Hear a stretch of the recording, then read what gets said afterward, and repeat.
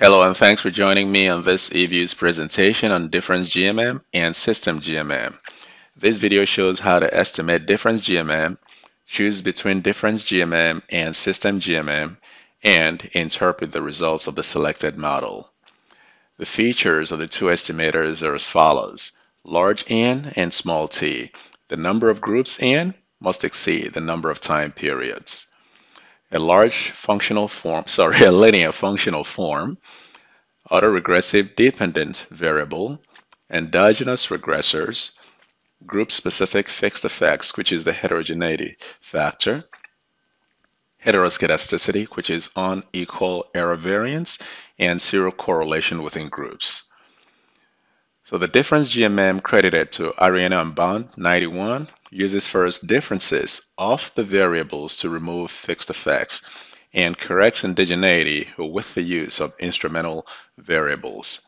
The weaknesses, though, include the fact that differencing eliminates previous observations and erases time constant variables as exemplified in this illustrative table right here where x1, as you can see, is time invariant. And so if you took the differences of these observations, you're going to wind up with zero.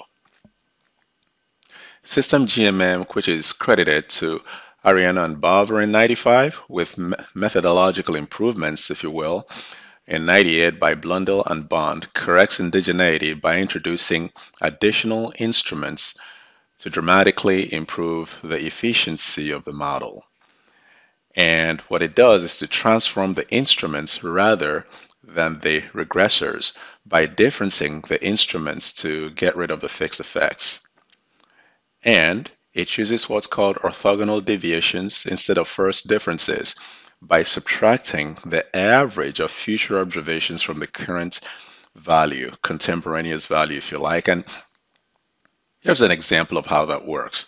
So from these, uh, from this original series, if, if we were to uh, use difference GMM, obviously in the first time period, we're not going to have any observations, uh, any observations since there's nothing preceding it. But in the second time period, it's going to be 21 minus 10 to get us 11. Third one, 34 minus 21 to get us 13, and the beat goes on. Now, with orthogonal deviations on the system uh, GMM, in the first time period, we're first of all going to calculate the average of the future observations, meaning from 21 down to 95. That average is 57.17, and so 57.17 minus 10 will get us 47.17, as you see in this definition. And in the second time period, again, we're going to first calculate the average of the future observations, meaning from 34 down to 95 and that comes out to 64.40. So 64.40 minus 21 will fetch us 43.40. And so you work your way down the journey, Mary Lane. So you can already see that this manner of differencing is more robust when it comes to the use of unbalanced panels and missing observations. Endogeneity in both estimators is resolved with the use of instrumental variables as noted earlier. But because these two estimators are designed for general use, they do not actually assume that good instruments are available outside of the data set. And so the assumption is that the only available instruments are going to be internal instruments, specifically lags of the endogenous regressors. Now though, to be sure, the, the estimators do allow the inclusion of external instruments. And for that matter, there are three main types of variables we encounter in this type of estimation. Exogenous variables are those that are uncorrelated with the error term. Predetermined variables are uncorrelated with the present error term, but correlated with the past error, an example of which is the lag-dependent variable, which is included as a regressor in the dynamic model endogenous variables are correlated with the error term. And so in differencing in difference GMM, the original model is differenced, as you see here. And while differencing does in fact remove fixed effects, as you can see in the expansion of the error term right down here and the differencing of it, we're still left with, among other things, the lagged, deep, the lagged error term, which naturally is correlated with the lag-dependent variable, again, which is included as a regressor in the model. And so even if the other regressors are strictly exogenous, you find that there's still going to be an element of endogeneity left in the model. Noting that difference GMM produces biased and inefficient estimates, in particular when the model is persistent in that it follows um, a closed random walk, and instruments are weak in that they are weakly correlated with the underlying regressors and time period is short. System GMM uses a two equation approach with additional moment conditions, that is, additional instruments to deal with those issues. The additional instruments have been found to yield more efficient parameter estimates. And so the question becomes, how do we choose between difference GMM and system GMM? The rule of thumb recommended by Bond in 2001 is to first estimate this original model. In this example, I have a three variable model with um, two original regressors, x1 and x2. And then we have the inclusion of the lag dependent variable as a regressor also in the model. So we're going to first estimate this original model using pooled OLS uh, and make a note of the coefficient of the lagged dependent variable and repeat with fixed effects model estimation using either the least squares dummy variable or within group approach. And again, make a note of the coefficient of the lag dependent variable. And then finally, estimate difference GMM and make a note of its coefficients. What happens is that the estimated coefficient with OLS is the upper bound, while that with fixed effect is considered the lower bound. And if we find that the coefficient estimate with difference GMM is greater than that of fixed effect, then what it means is that difference GMM is going to be the way to go. And meaning that difference GMM is correctly instrumented. However, if it comes out to be less than the fixed effects coefficient estimate there, then we roll with system GMM. Because what that means is that difference GMM in this case has a downward bias due to weak instrumentation.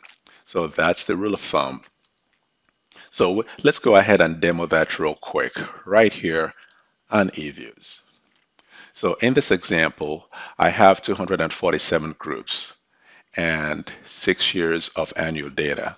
And so this definitely fits the bill in that my number of groups far exceeds, as you can see, the number of observations, uh, the number of time periods. And so with generic notations for ease of understanding, y is my dependent variable, x1 is my first independent variable, and x2 is the second one. So what we're going to do is to first estimate pooled OLS in the order I mentioned. So right click on any of these, open as equation, and right here, let's include the lag dependent variable y minus 1 right there and we're done. We're just going to have to click OK. Method is least squares because it's pooled OLS. So OK. And this is what we're looking for. We make a note of this coefficients which is approximately 0.69. All right, then X out of it and do, do the same this time with fixed effects estimation. So right here, again, before we go ahead, include the lagged dependent variable like so, and then go here to panel options, and for cross section, switch this to fixed. And that's all we need to do, okay? And that's our output right here. And once again, we're going to make uh, make a note of this. So this point 44 is going to serve as the lower bound. And we X out of it. And finally, we go ahead and then estimate difference GMM. So right click, open as equation, and we're going to come to method and switch this to generalized method of moments, dynamic panel data. So click on it. And now click on panel options. Let's go through the tabs. panel options and for cross section down here, choose difference GMM because that's what we're getting ready to estimate. We can leave everything else as is, including GMM weights. Then click on instruments and let's type in our internal instruments, which is going to be X1, lag 1, and then X2, lag 2. Oh, sorry, lag 1. All right, so the first lags of the regressors. And then click on options. And for options, we're going to check this always keep GLS and instrumental variable GMM weights. All right, so that's it. So go back to, spec don't click OK, go back to specification again. And now let's go here to the lower left corner and click on Dynamic Panel Wizard. All right, and uh, begin our journey to ensure that we're set to estimate different GMM. So here, the dependent variable is recognized as Y. Next, step two, the independent variables are recognized as x1 and x2 and the constant. And if you do have period dummy variables, you can check this, but we don't have in this example. So I'm going to uncheck it. Then next, for step three, difference is already selected, so we're good to roll with that. Next up, and right here, the um, instrument for the for the first lag of the independent variable specified as a regressor. That the instrument of it is what you see right here, which the system has already identified. So click next to step number five. And in step number five, our other internal instruments are selected, are identified. So next and final step, and we're going to stay with um, the um, default option right here. So we're done really and finish. So now, as you can see, our dynamic model is correctly specified, which now includes the lagged dependent variable as a regressor right there. And if you want to confirm the instruments, click here on the Instruments tab, and you're going to see all the, the three instruments. The instrument for the first lag of the dependent variable, the first regressor, and the second uh, re original regressor, that is. So we're good to go. Just click OK. And that's what we got going right here. And this is the highly coveted, if I may say, coefficients of the lag-dependent variable, which we now have to compare to the upper bound from OLS and the lower bound from fixed effects. And here is a summary on my PowerPoint. Go here. Right there. So as you can see, the coefficients from different GMM is greater than that from fixed effects. And so we conclude that different GMM is correctly instrumented. And with that, we're going to have to base our interpretation of the dynamic model specification on the results of difference GMM. However, before we give this a good rap, let's go ahead and perform the Arellano um, bond test of serial correlation. So we're going to go right back here and on this difference GMM output, we're going to go to View, Residual Diagnostics, Arellano bond serial correlation test. And this is what we're looking for, for reasons explained in the last video. So we're looking for the p-value corresponding to AR2. And at the 5% level of significance, we cannot reject the null hypothesis of no sec second order zero correlation. And so we're quite happy with this. And now we summarize and conclude. For that, I head back to my PowerPoint. So here's a summary of the different GMM outputs where the J statistic of 7.73 has a p-value of 0.56, which as you can see is greater than the threshold of 0.25. And so we say that the null hypothesis of overidentifying restrictions is not rejected, which supports the validity of the dynamic panel model specification. Next up, we find that the coefficient of the lag-dependent variable, which captures persistence in the model, has a value of 0.47.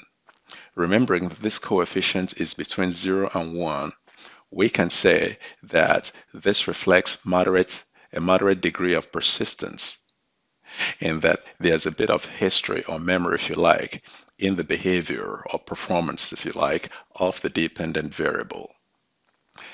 Next up, we already have determined that there is no evidence of second order serial correlation. And finally, we note that the two original regressors, X1 and X2, are statistically significant. X1 at the 1% level and X2 at the 5% level. And both have positive coefficients, meaning that individually they do have a positive impact on the behavior of Y. And this concludes this presentation. What I'm going to do next up is to show an example of system generalized method of moments. And that's going to be the case where the coefficient of the lag dependent variable with difference GMM estimation is less than that with fixed effects estimation. Hope you enjoyed it.